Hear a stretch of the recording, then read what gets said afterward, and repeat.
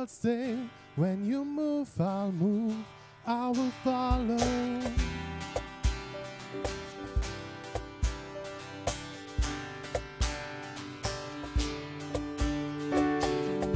All your ways are good, all your ways are sure. I will trust in you alone, higher than my sight, high above my life. I will live for you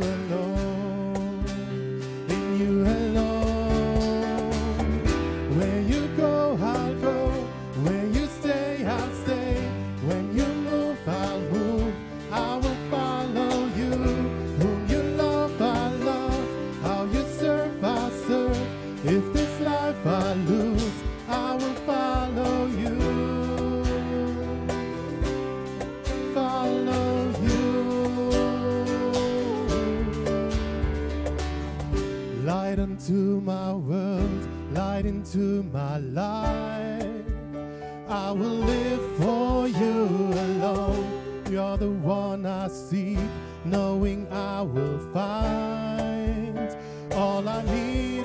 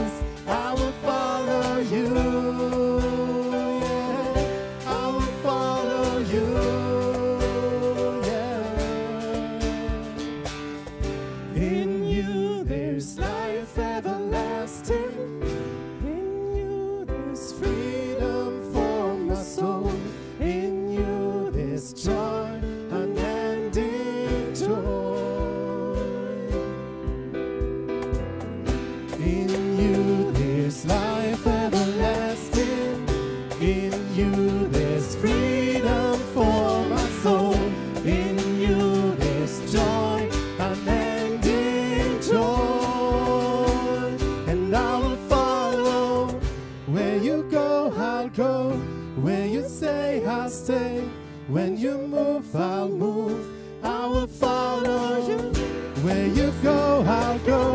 Where you stay, I'll stay. When you move, I'll move.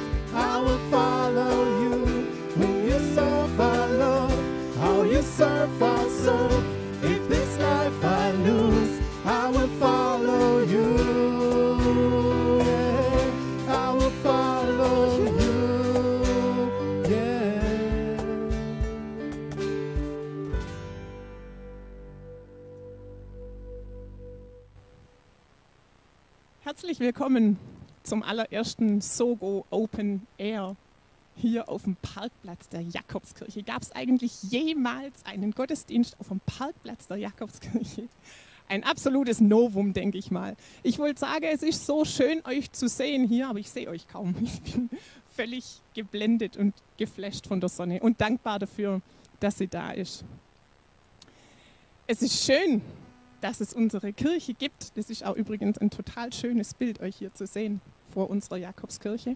Es ist aber auch schön, dass wir nicht darauf angewiesen sind, dass wir in die Kirche gehen müssen, um Gott nahe zu sein. Ich glaube, Kirche sind dazu da, dass man in ihnen Gott loben kann, ihn erfahren kann, in seiner Gegenwart sein kann. Das kann ich aber halt auch mal bei einer Autofahrt um 2 Uhr nachts oder beim Duschen oder im Fitnessstudio oder im Gespräch mit Fremde oder Freunde oder im Café. Und Gott sei Dank, auch hier auf dem Parkplatz, Gott sei Dank, definiert nicht das Gebäude unseren Glaube. Wir ändern die Welt nicht dadurch, dass wir in die Kirche gehen. Wir müssen die Kirche sein. Das sind wir heute hier. Und so feiern wir auch diesen Gottesdienst hier auf diesem Parkplatz im Namen des dreieinigen Gottes, im Namen des Vaters, des Sohnes und des Heiligen Geistes. Danke, Vater, dass du da bist. Einfach spitze, dass Gott da ist. Einfach spitze, dass ihr da seid. Einfach spitze, dass du da bist.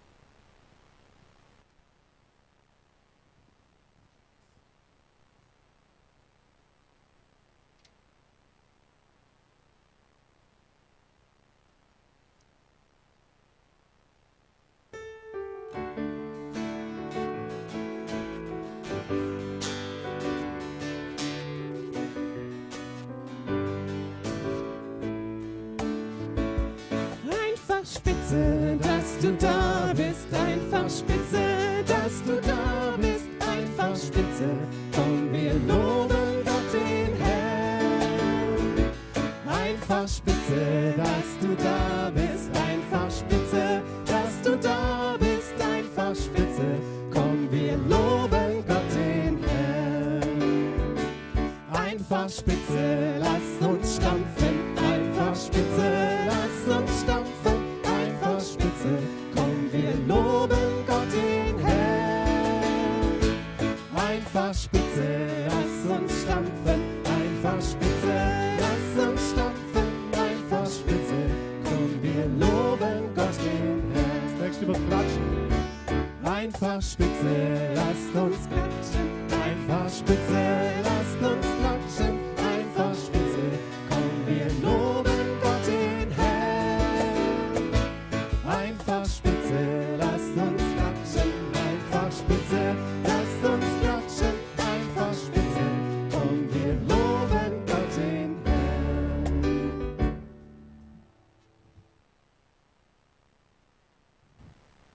so viel singen dürft, haben wir manche Lieder von vier oder fünf oder sechs auf drei Verse verkürzt, aber das ist schön, dass ihr trotzdem dabei seid.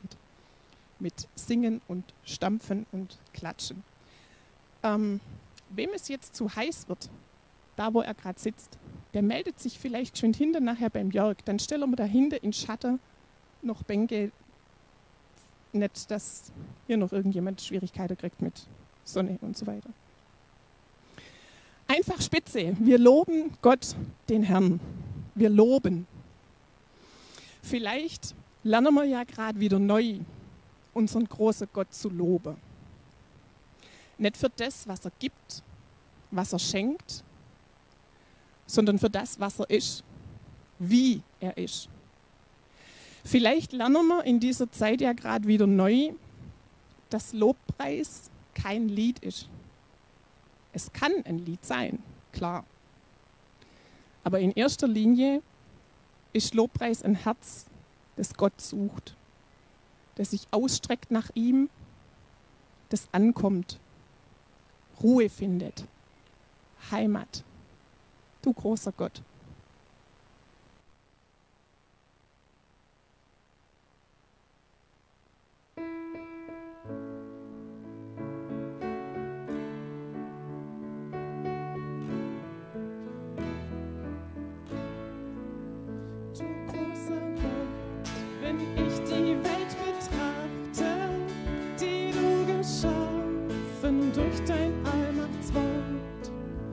Wenn ich auf alle jene Wesen achte, die du regierst und nährest fort und fort, dann jauchzt mein Herz dir großer Herrscher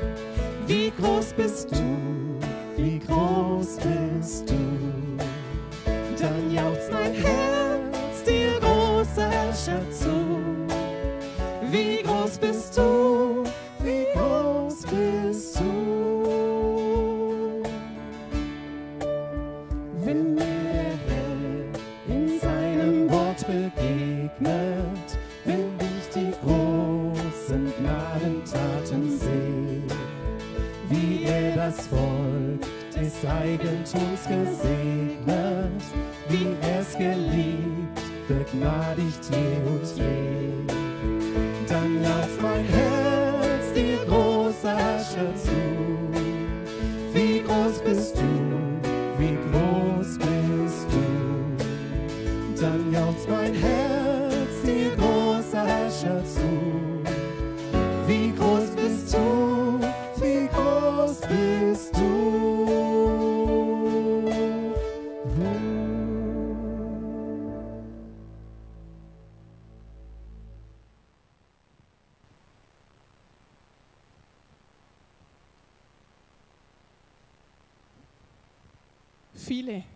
unserer Lieder hier, wahrscheinlich die meiste, sind nichts anderes als vertonte Gebete.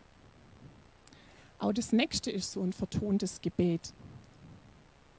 Wir beten singend auf Englisch. Aber ich bete mit uns vorher auf Deutsch. Vater im Himmel, ich war mir so sicher, dass du uns deine Hand reichst. Dass du unsere Tränen trocknest. Dass du in unsere Situation reinkommst, sie in Ordnung bringst. Dass du dein Wort erfüllst.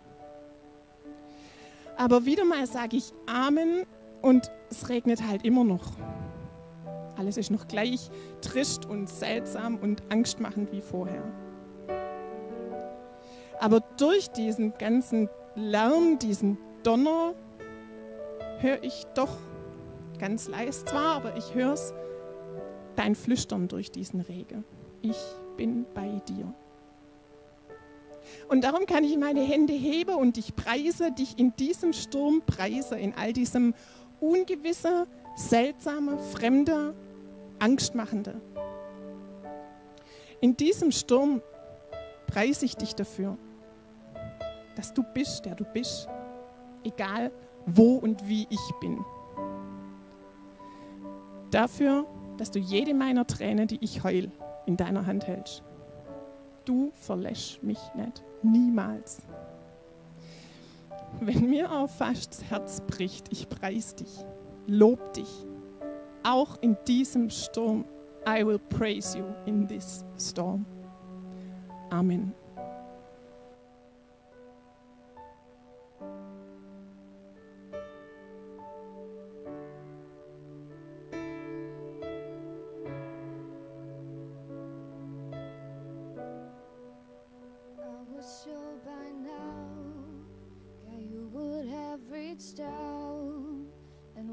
Our tears away, stepped in and saved today. But once again, I say amen, and it's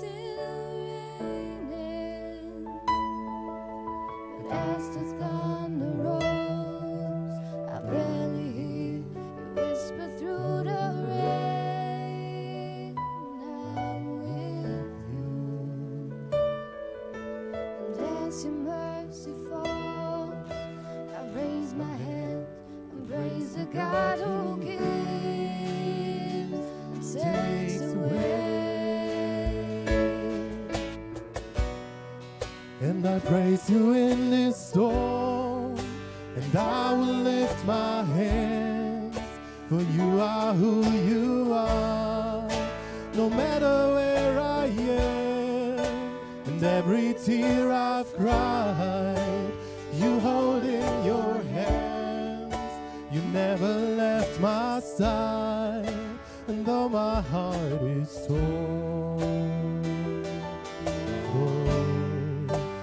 Praise you in this song.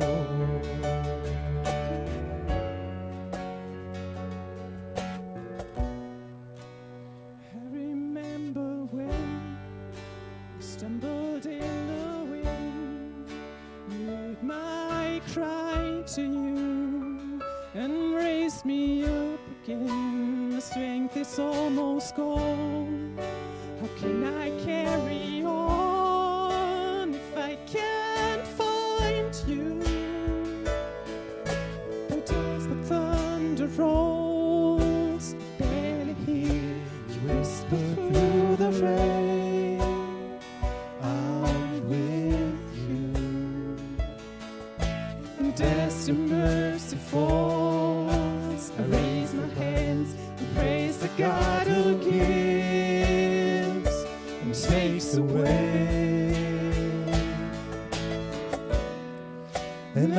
praise you in this song, and I will lift my hands, for you are who you are.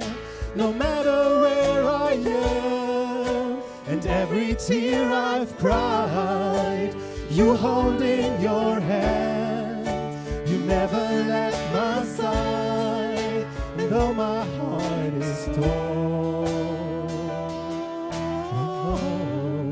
I will praise you in this song.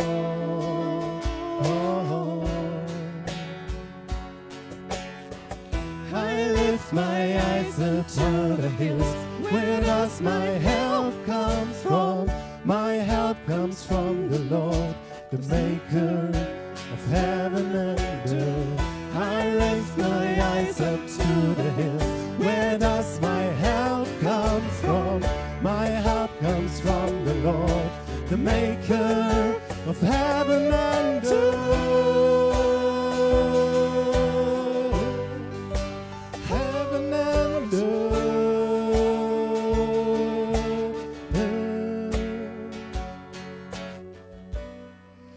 I praise you in this storm, and I will lift my hands, for you are who you are, no matter where I am.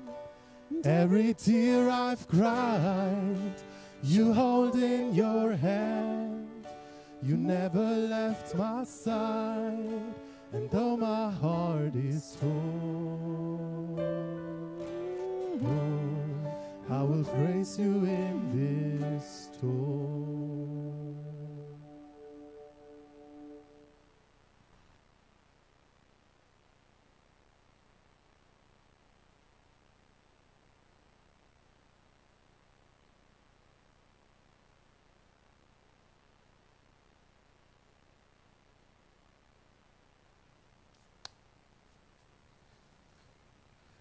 Zum Glück haben wir eine Waschmaschine auch zu Hause.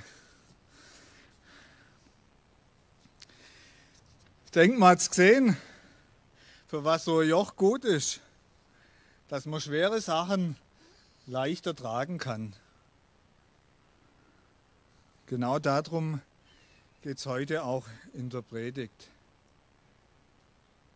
In dem, was Jesus uns da sagt in Matthäus 11, ich lese gerade mal vor.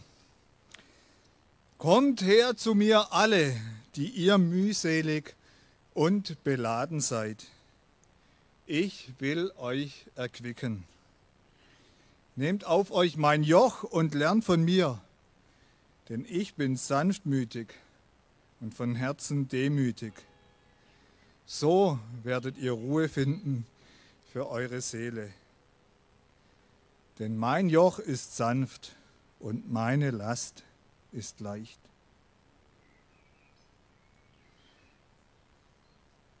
Wenn Sie gut zugehört haben, dann merken Sie, dass Jesus mit dem, was er hier sagt, meine Erfahrung sogar noch überbietet. Er sagt nicht, nimm mein Joch und es wird ein bisschen leichter. Er sagt, ich will dich erquicken. Ich habe mal nachgeschaut im Duden, was da steht unter erquicken. Da steht lebendig machen, beleben. Also mein Joch macht dich neu lebendig, belebt dich. Deswegen auch das Thema dieses Gottesdienstes, lebendig werden. Das Joch Jesu wie an einem heißen Tag eine kühle Cola oder ein Sprung ins erfrischende Freibad. Darum geht es, lebendig werden durch das Joch Christi. Erstmal, wofür brauchen wir dieses Joch überhaupt? Für welche Lasten? Also mir geht es ja so, Stress ist manchmal auch was Schönes. Da spürt man, was man leisten kann. Man fühlt sich schon durch den Stress lebendig und gut. Das kann einem jetzt in Corona-Zeiten manchmal fehlen. Vielleicht ist es für manche so, dass sie durch diese Corona-Krise sich gar nicht mehr gebraucht fühlen, sich nicht mehr ausgelastet fühlen. Auch eine fehlende Belastung kann für uns zur Last werden. Aber natürlich gibt es auch das Gegenteil.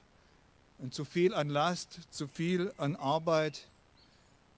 Also wenn sich bei mir eine Stressphase an die andere reiht und ich habe keine Pause und keine Erholung dazwischen, dann tut mir das nicht mehr gut. Dann fühle ich mich am Anfang lebendig und am Ende tot.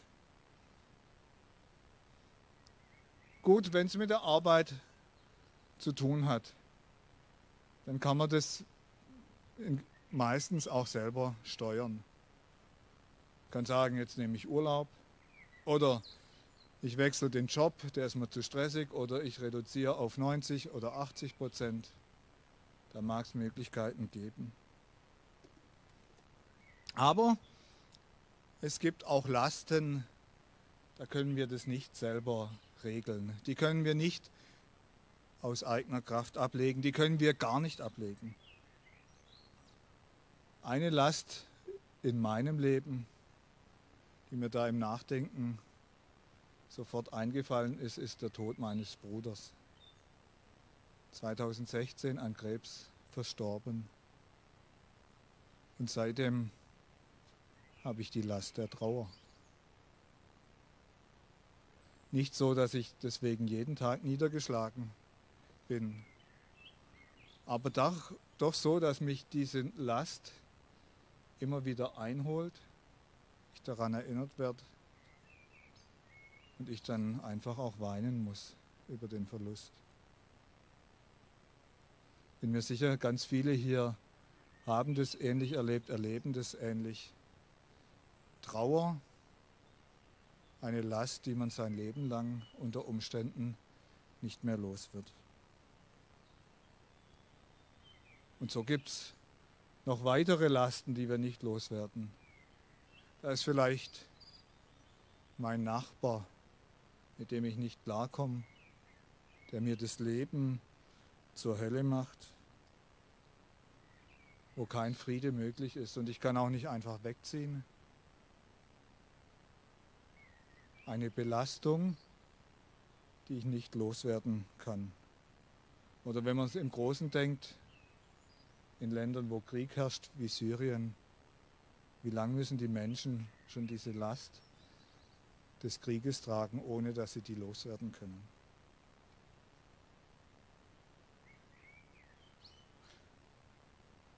Auch das, was ich von meinem Bruder gesagt habe, Krankheit. Vielleicht sind hier manche krank, chronisch. Sie wissen, es werden, wird nicht besser werden. Und die Last der Einschränkung wird mich bis zum Tod begleiten. Eine Last, die ich nicht loswerden kann. Jesus verspricht uns nicht, die Lasten uns abzunehmen. Das wäre ja gar nicht realistisch. Das wäre ein leeres Geschwätz. Kann kein Mensch sagen, ich nehme dir diese Last der Krankheit, der Trauer weg. Kann auch Jesus nicht. Es gibt eine Last, die kann er uns abnehmen. Darum geht es am nächsten Sonntag um die Last der Sünde. Aber es gibt andere Lasten, die können wir nicht loswerden. Aber Jesus verspricht uns, trotz der Last, mit der Last, will ich euch erquicken, beleben, will ich euer Leben lebendig machen. Dass es lebendig ist, trotz der Lasten, die ihr tragt. Wie?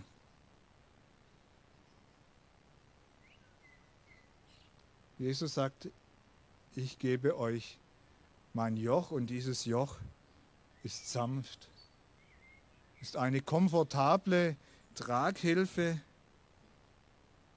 für deine Last. Es gibt aus dem 8. Jahrhundert aus einem ägyptischen Kloster eine Ikone, die uns ein bisschen hilft, eine Vorstellung zu kriegen, wie dieses Joch Christi aussieht. Da ist der Abt Menos, der Leiter eines Klosters. Ich kann mir vorstellen, er hat schwer zu tragen an der Last der Verantwortung für das Kloster. Wie heute die Last der Verantwortung, eine Firma zu tragen oder vielleicht auch Kinder zu haben, Familie. Und man sieht diesen Abt Menas und neben ihm steht Jesus Christus und er legt seinen Arm um ihn. Das Joch Christi, die Traghilfe, die er uns gibt, das ist seine Umarmung, dass er sich zu uns stellt. Ich habe das genauso erlebt. Hinten sitzt meine Familie. 2016 in, im Jahr, in dem das traurigste Ereignis meines Lebens war der Tod meines Bruders, war gleichzeitig auch das schönste, die Hochzeit. Und meine Frau hat sechs Kinder mit in die Ehe gebracht. Und für mich war es nie eine Frage, dass ich meine Frau lieb habe und dass ich die Kinder lieb habe. Aber für mich war es immer eine Frage, bin ich dieser Verantwortung gewachsen? Oder überfordert mich das und ich bin dann kein guter Ehemann mehr, kein guter Vater mehr und auch kein guter Pfarrer mehr und muss meinen Beruf an den Nagel hängen? Deswegen habe ich gesagt, also da will ich Gott fragen, bevor ich so eine Entscheidung treffe. Bin in ein Einkehrhaus gegangen, eine Woche fast nur schweigen, Bibel lesen, ein Gespräch am Tag, auf Gott hören. Und dann war es mir, wie wenn Gott zu mir sagt, oder Jesus, ob du das alleine schaffst, das weiß ich nicht, aber mit mir zusammen brauchst du dir keine Sorgen machen. Es ist nicht die wichtigste Frage, ob du dieser Verantwortung gewachsen bist, sondern die wichtigste Frage ist, ob du in der Verbindung mit mir bleibst, ob du mit mir zusammen unter mein Joch gehst. Und wenn du dich dafür entscheidest, dann hast du alle Freiheit. Dann mach, was du willst, aber mach's ohne Sorge und Angst. Und ich erlebe es, wie Jesus sagt, mein Joch ist leicht. Die Familie, und ich will euch erquicken, die Familie ist überhaupt gar keine Belastung, sondern ein Ort der Erquickung.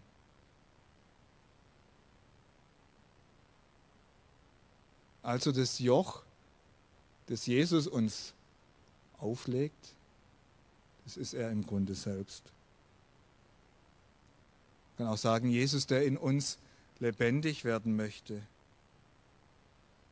Und indem er in uns lebt, macht er uns ihm ähnlich. Jesus sagt hier, ich bin sanftmütig und von Herzen demütig. Und da, wo wir uns für Jesus öffnen und er in unserem Herzen wohnt, da gewinnt in uns diese Sanftmut und diese Demut Gestalt. Sagen wir, ist das überhaupt so erstrebenswert, Sanftmut, Demut? Ja, weil das ist die Grundlage für Lebendigkeit. Wenn ich nicht sanftmütig bin und demütig, sondern hartherzig,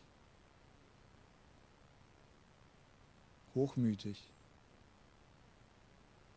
dann verhärtet sich mein Herz, mein Leben, es wird starr und ich bin nicht mehr lebendig, sondern lebendig tot. Aber wo ich mich öffne für diese Sanftmut und Demut, die im Wesen Jesu liegt und die dann auch mein Wesen durchdringen möchte, da spüre ich auf einmal Lebendigkeit, Erquickung. Ich will euch erquicken. Denn ich bin sanftmütig und von Herzen demütig. So werdet ihr als dann noch Ruhe finden für eure Seelen. Ruhe oder auch Frieden. Das, was hier gesagt wird, das spielt ganz bewusst an den Frieden Gottes an, an die Ruhe Gottes, die uns im Himmel erwartet, wo es keine Lasten mehr geben wird.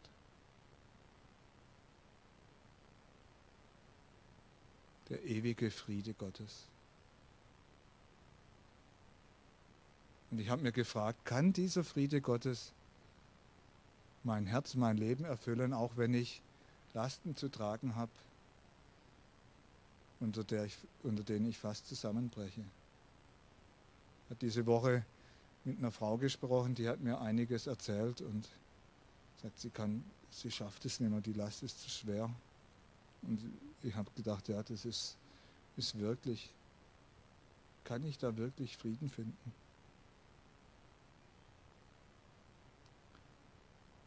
Jesus sagt ja. Und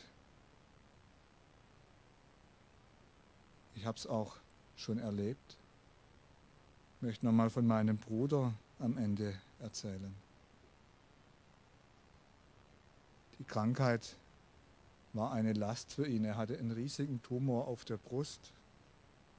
Der Tumor hat ihm so belastet, dass er kaum mehr atmen konnte. Ich habe es kaum ausgehalten, mit ihm zu reden, weil er nur noch so reden konnte. Nach jedem Atemzug ist ihm fast die Luft ausgegangen. Es gibt Schmerzmittel, aber es gibt kein Schmerzmittel gegen das Ersticken.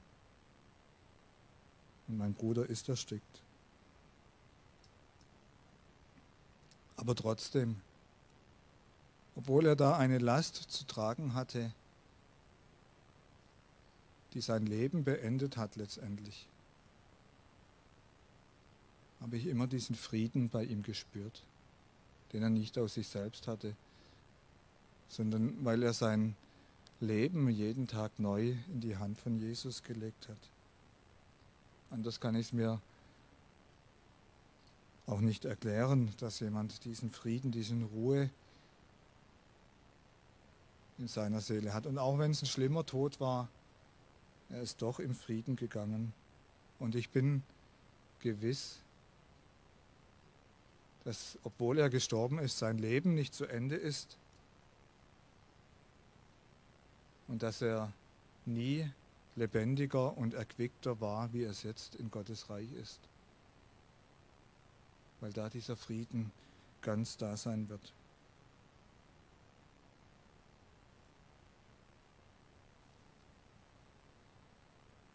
Kommt her zu mir alle, die ihr mühselig und beladen seid. Ich will euch erquicken. Wirklich lebendig wird unser Leben, da bin ich zutiefst überzeugt, nur durch Jesus Christus, durch nichts anderes. Und deswegen ist es so wichtig, dass wir uns immer wieder neu von ihm einladen lassen, dass wir uns entscheiden, zu ihm zu kommen. Kommt her zu mir alle, die ihr mühselig und beladen seid. Ich will euch erquicken, lebendig machen. Amen.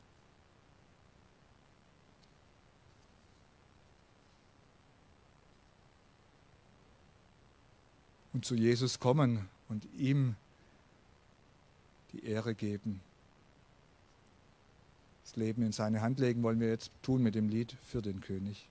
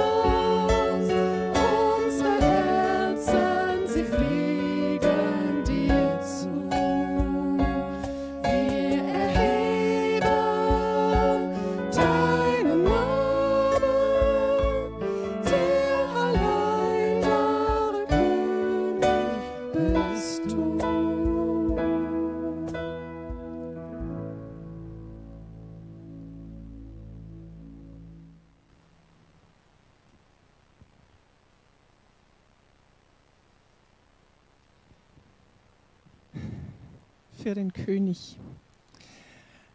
Ein paar Informationen noch zum Ende dieses Gottesdienstes. Wichtig ist leider nach wie vor, dass ihr nach Ende unserer Feier, unseres Gottesdienstes hier direkt nach Hause geht.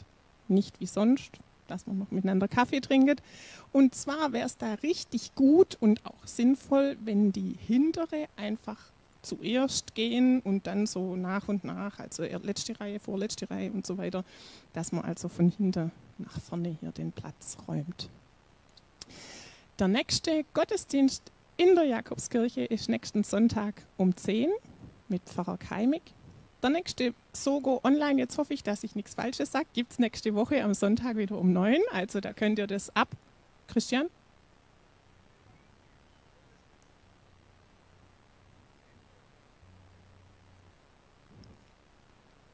Wer vielleicht auch seit heute Gottesdienste im Grünen liebt, der dann nächste Woche um 10 in Herzogsweiler draußen. Also um 10 in der Jakobskirche und 10 in Herzogsweiler draußen und ab 9 gibt es auch wieder was online.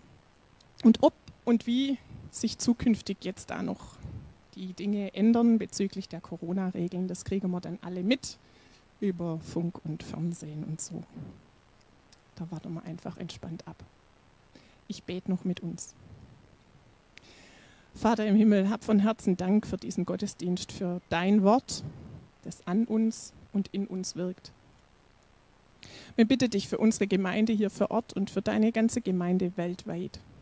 Schenk, dass sie, schenk, dass wir gestärkt durch diesen Sturm, diesen Corona-Sturm hindurchkommen und die persönlichen Stürme, die wir alle persönlich durchzufechten haben. Nutzt du diese Krise, diese Krisen, um Neues zu schaffen, um, um uns, um deine Kinder, dass wir reifer und wachsen dürfen. Wir bitten dich für uns untereinander genauso wie für die Weise und die Mächtige in der Welt. Schenk ihnen und schenk uns ein dankbares Herz, ein liebevolles Miteinander, damit auch ein Einandertragen und einander aushalten möglich ist. Danke, dass du uns dazu befähigst. Wir betet gemeinsam, Vater unser im Himmel.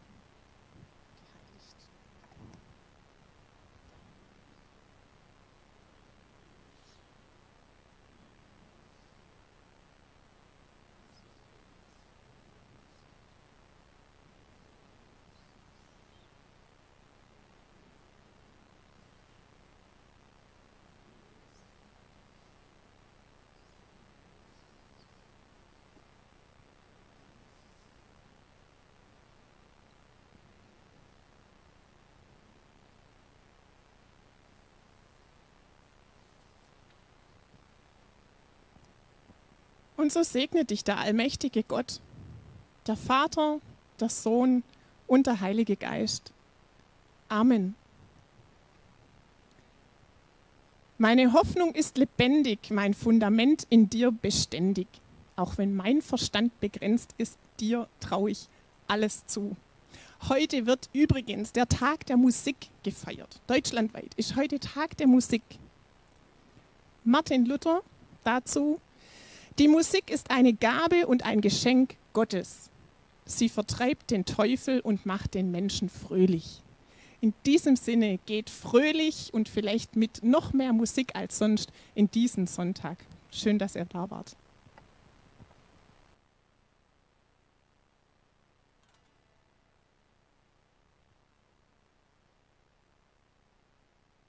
Oh,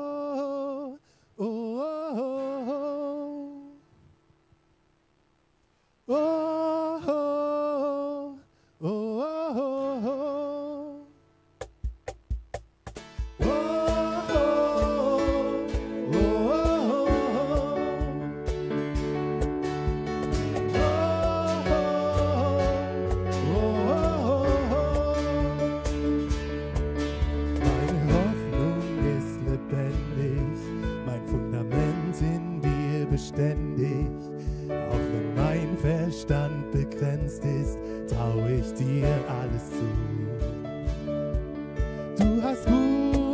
Gedanken, die mich fest in dir verankern.